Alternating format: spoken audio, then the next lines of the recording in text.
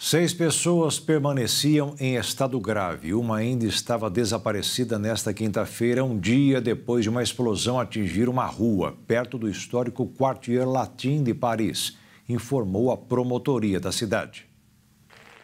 Segundo a promotoria parisiense, esses números ainda podem mudar, pois estima-se que cerca de 50 pessoas ficaram feridas na explosão que incendiou prédios e fez a frente de um desabar na rua.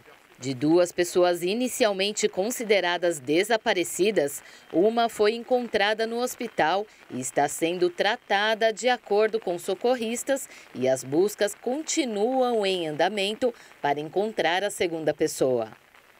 As autoridades ainda não disseram o que causou a explosão, que, segundo testemunhas, ocorreu após um forte cheiro de gás no local. A explosão gerou cenas de caos e destruição na histórica rua Saint-Jacques, que vai da Catedral de Notre-Dame à Universidade Sorbonne, no momento em que as pessoas voltavam do trabalho para casa. Também destruiu a fachada de um prédio que abriga a escola de designer da Paris American Academy, popular entre os estudantes estrangeiros.